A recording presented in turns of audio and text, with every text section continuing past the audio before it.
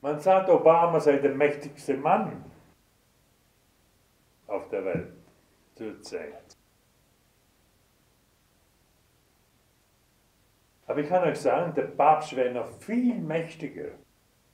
Wisst ihr warum?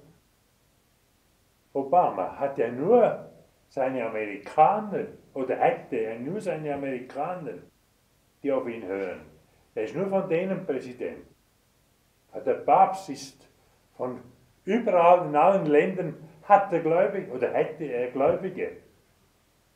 Das macht viel mehr Menschen aus, viel größere Macht. Satan weiß das. Und deshalb fürchtet er das und verblendet die Kirche.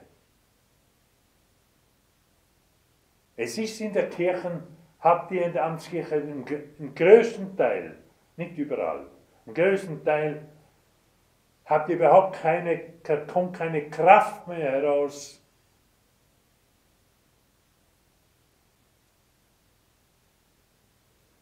Der größte Teil der Menschheit ist schon vom Rauch Satans vernebelt, eingeschlafen.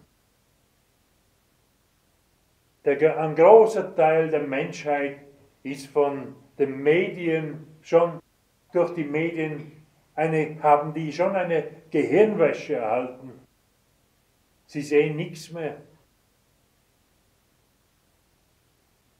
Wehe dir Kirche. Ihr seid stumme Hunde, sagt Gott der Herr. Dein stummer Hund ist nutzlos.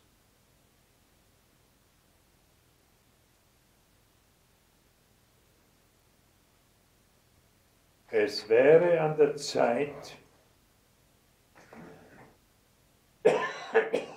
das Steuer umzureißen.